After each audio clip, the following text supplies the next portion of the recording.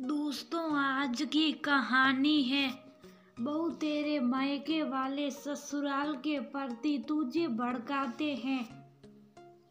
दोस्तों, कहानी शुरू करने से पहले, अगर आपने चैनल को सब्सक्राइब नहीं किया हो तो कर लीजिए ताकि आपके पास पहुँच सके हर नया वीडियो। पता नहीं कौन अनजान, आज सुबह से फ़ोन किए जा रहा है। किसी अनजान नंबर से कई बार फ़ोन आ चुका था। वो किसी काम से बाहर गई थी, इसलिए मैंने फ़ोन उठा लिया। लेकिन मेरी आवाज़ सुनते ही उसने फ़ोन काट दिया। ये ज़रूर बहू की कोई सहेली है या कोई रिश्तेदार है? सुनीता जी अपनी बेटी उमा से बोली, क्या फ़र्क पड़ता है माँ? वह किसी ना किसी से तो दिल की बात करेगी ना, आप इतनी छोटी सी बात को ज़्यादा तुल ना दो। अरे, ऐसे कैसे आने दो? बहू को आते ही बात करती हूँ। मैंने इसे कई बार कमरे में धीमी आवाज़ में बात करते देखा है और मुझे देखते ही ये फ़ोन काट देती है। अब बता इन सब का क्या मतलब समझू मैं? पता नहीं कौन इसे भड़काता है। आजकल दुनिया ऐसी ही है। दूसरों के घरों में आग लगाकर खुश होते हैं। माँ कोई किसी को नहीं भड़का सकता। इंसान का जैसा स्वभाव रहता है, वो वैसा ही उसका व्यवहार रहता है। हाँ ऐसा हो सकता है कि भाभी अपने मन की बातें अपने घर वालों या अपनी किसी सहेली से शेयर करती हो, जैसे आप मौसी से करती हैं या मुझसे करती हैं, और जैसे मैं अपने ससुराल की बातें आपसे करके अपना दिल हरका कर लेती हूँ, माँ अब इस बात को ज़्यादा महत्व मत दो, वरना बात बिगड़ जाएगी। अच्छा ठीक है।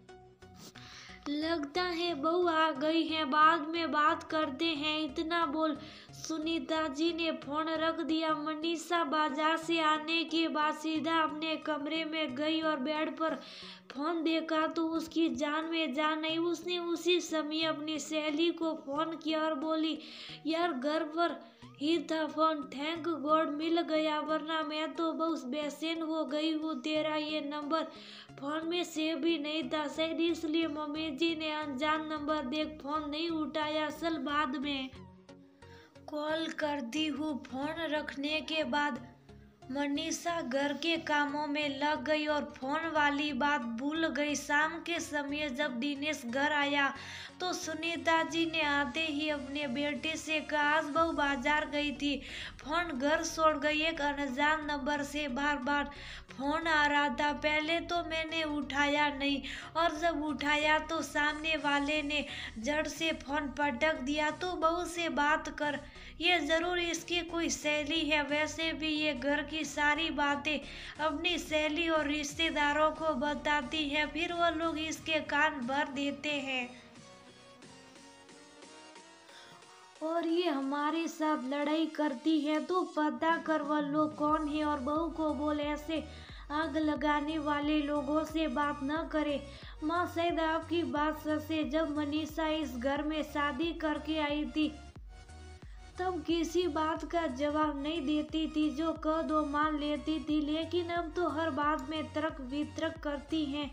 ज़रूर कोई ना कोई तो इसके कान भरता है। मैं आज इससे बात करता हूँ, वरना लोग इसे भड़काते रहेंगे और हमारे घर में लड़ाई झगड़े होते रहेंगे। शाम के समय पति पत्नी की किसी बात को लेकर बहस हो गई। दिनेश ने झट से कह दिया, मनीषा, मैं देख रहा हूँ कोई तुम्हें भड़काता ज़रूर है, वरना तुम पहले तो ऐसे नहीं थी। सच बताओ, आज किससे बात हुई है और किसने तुम्हारे कान भरे माँ कह रही थी कि आज तुम्हें किसी अनजान नंबर से कई बार फ़ोन आया था और जैसे ही माँ ने फ़ोन उठाया तो उनकी आवाज़ सुनते ही दूसरी तरफ़ से फ़ोन पटक दिया गया। दिनेश को इस तरह बोलता देख मनीषा हैरान हो गई। वह बोली, दिनेश, कैसी बातें कर रहे हो तुम? तुमसे ये उम्मीद नहीं थी। मेरा फ़ोन घर रह गया था और मुझे लगा रास्ते में कहीं गिर गया है। मैं किरण के नंबर से खुद को इसी उम्मीद में फ़ोन कर रही थी। कि कोई मेरा फ़ोन उठा ले और मुझसे बात करके मुझे मेरा फ़ोन लौटा दे। लेकिन किसी ने फ़ोन रिसीव नहीं किया और जैसे ही मम्मी ने फ़ोन रिसीव किया तो मेरी जान में जान नहीं। लेकिन तभी किरण का बैटरी कम होने के कारण कट गया। मुझे कोई नहीं भड़काता। दिनेश और मैं क्या छोटी बच्ची हूँ जो दूसरों की बातों में आ जाऊँगी? पति पत्नी का रिश्ता विश्वास पर टीका होता। है और तुम मेरे बारे में ऐसी सोच रखते हो, ये मुझे नहीं पता। था बहुत दिल दुखाया है तुमने। मेरा ऐसा कौन से पति पत्नी है जिनमें आपसे मन मुटाव या लड़ाई झगड़ा नहीं होता? थोड़ी बहुत निक नोक जोक तो सली रहती है। इसका मतलब ये नहीं कि कोई मुझे भड़काता है। झगड़ा तभी होता है जब हमारे मन में कोई गलत फहमी होती है और हम उसे क्लियर करने की जगह बहस करना शुरू कर देते हैं। बोलते बोलते मनीषा का गला भर आया और वह बेड निराश होकर बैठ गई। सारी बात जानने के बाद अब दिनेश को बहुत बुरा लग रहा था। उसे समझ आ गया कि उससे बहुत बड़ी भूल हुई है। उसका सिर शर्म से झुक गया और उसने देर न लगाते हुए मनीषा से माफ़ी मांग ली और उससे वादा भी किया कि वह आगे से ऐसी गलती कभी नहीं करेगा। मनीषा को दिनेश की आँखों में पछतावा साफ़ दिख रहा था, इसलिए उसने दिनेश को माफ़ कर दिया। इसके बाद दिनेश ने सारी बात अपनी माँ को बताई। और उन्हें भी समझाया कि बहू पर शक करना छोड़ दे अब।